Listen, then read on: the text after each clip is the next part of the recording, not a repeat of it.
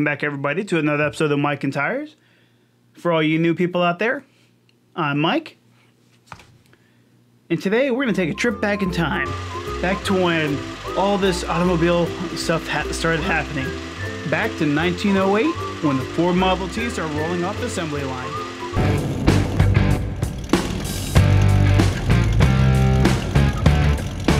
The history about the Ford Model T.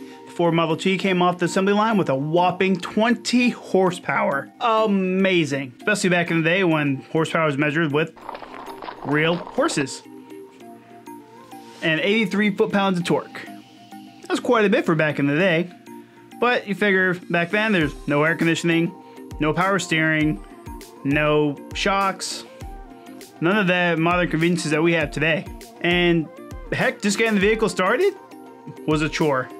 If you had an electric starter, if the car is cold, tug on the priming lever next to the radiator to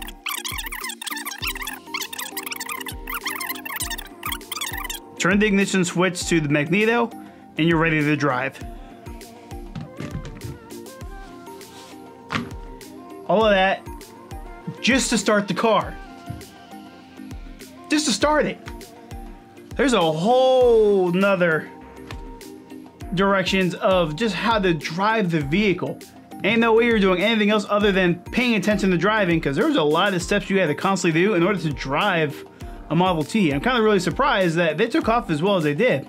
All that just to start with a electric starter. Didn't have electric starter. You had to do all those steps plus a few extra and crank it by hand.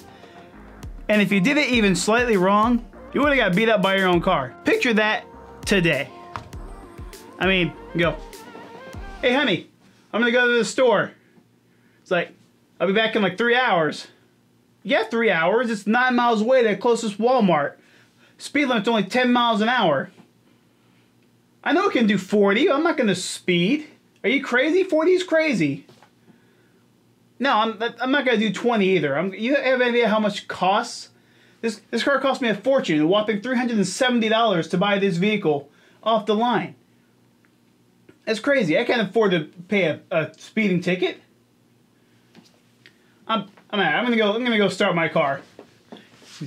Oh, oh, my shoulder. Yeah, that will go over great. Why in the world am I talking about the Model T? Well, 100% honest, I got rear-ended. Totaled out my 4Runner. All that work, and if you all remember my second video I ever put out about we need a car, put a link up to it up here or there, whichever side it's going to be on. I know it was bad. I've worked on my quality.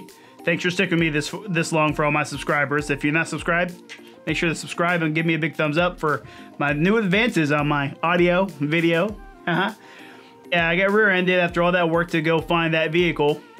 All those plans I had on upgrading the radio, three-inch lift kits, bigger tires, off-roading, street. Ugh, took me forever to find that vehicle without that wasn't covered in rust.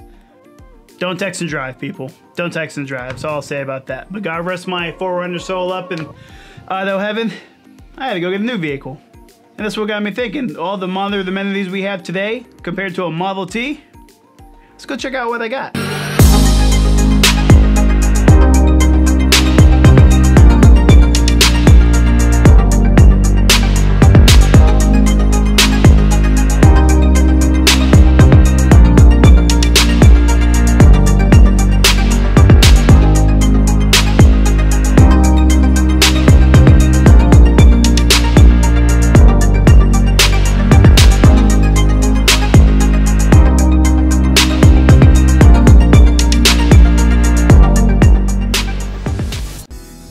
As you can see, I went and got myself a F-150 Platinum Edition. Now this car is not brand new. Like I said, I did purchase it from a CarMax, so it's a used vehicle. It's a 2012 3.5 liter EcoBoost motor.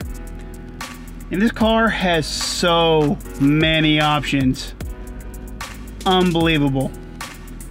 I mean, to the point, I mean, I got, I got a button right here. Right there, these two buttons. I don't, I don't know what it does. I don't know what they do. I have no idea what what these buttons are for. But I mean, I got got a nice full touch screen.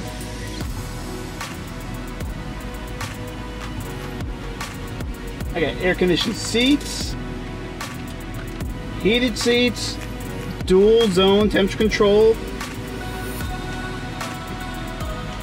Nice illuminated screen up front.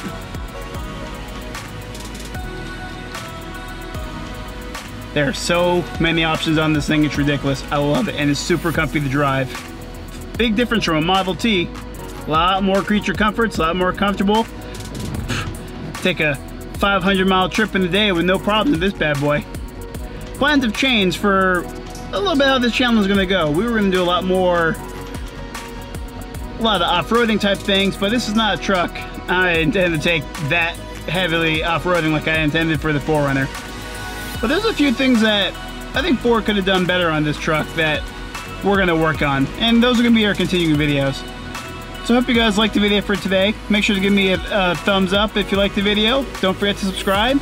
Catch you guys next time. Later.